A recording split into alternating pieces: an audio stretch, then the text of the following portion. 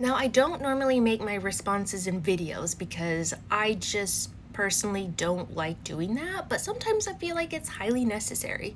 And today is such a case.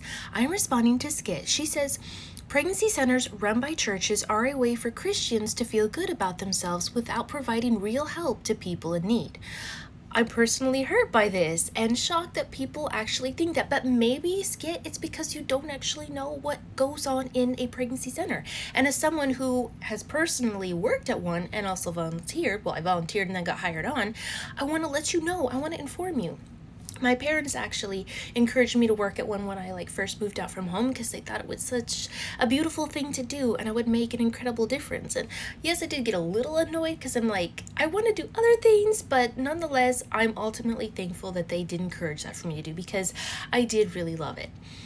So, at a pregnancy center, all of our services, all of our resources are completely and 100% free. We have counselors there, these ladies that one lady will take you in, whether you have set up an appointment or it's a walk in. She will sit down with you behind a closed little door just for your privacy and she will ask you how you are doing, what is going on in your life, and how can we help her. There are times where the woman is like, you know what, an abortion is best for me for whatever said circumstances. And we respect that. We let you go ahead and get your abortion, but we'll say, like, hey, we're still here for you if you ever need anything, if you want someone to talk to, that sort of a thing. And that did happen several times. If you need an ultrasound, that's completely free to see where you're at in your pregnancy if you want that. And if you need all kinds of items like if you need baby items or even stuff throughout your pregnancy, like you need some maternity clothes, we, what little bit we do have, we will we happily gave that to you. We have these parenting classes where it's kind of like this point system where you acquire all these points because of all the dedication and hard work you've put into those classes so that you can like just learn all this wonderful stuff so you can be the best parents possible for the moms and dads.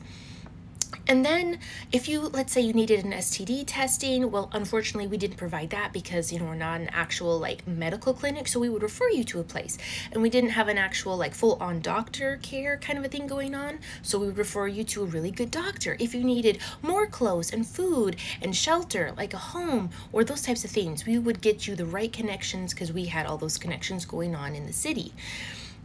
And let's see what else. Um, it was just an incredible experience, you guys. Like everything that we did there is because we love these women so much, these moms.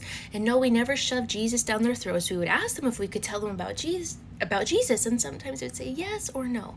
But you guys, pregnancy centers are so amazing.